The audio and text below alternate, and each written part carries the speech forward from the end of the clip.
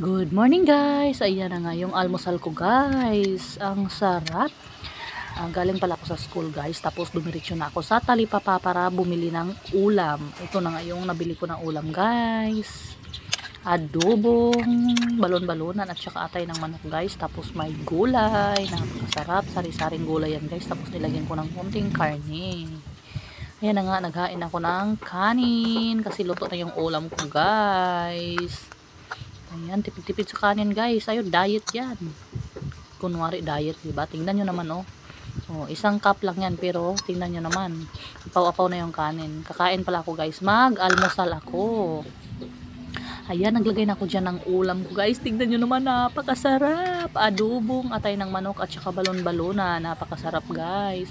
Bago ko pala yan niluto guys ay pinakuluan ko muna yung balon-balona ng manok sa mainit na tubig para matanggal yung mga kunwaring mga germs. Tapos ayan na, naglagay na ako ng gulay sa kanin. Napakasarap. Tignan nyo naman, mapapa-underize ka talaga sa adobong atay ng manok at saka balon-balonan. Ayan, kain-kain. Ayan nga, lumamo na ako dyan guys. Tignan nyo naman. Ang laki ng lamon ko dyan kasi ah, sabaw pa lang ng ano, adobo. Napakasarap guys. Sa halagang dalawang daan guys, meron na kaming dalawang klasing ulam. Pang almusal, tanghalian at saka hanggang hapunan yan guys. Ayan, napakasarap ng kain ko dyan. Kasi malinamnam talaga yung ano, yung atay ng manok. Tapos pag magluto kayo guys, lagyan nyo ng luya. Yan, naglalagay ako ng luya guys. Sa adobo. Ayan, nakain ko pala yung paminta. Buong paminta guys. Kaya inano ko. Hindi ko nilunok. Kasi maanghang yung paminta.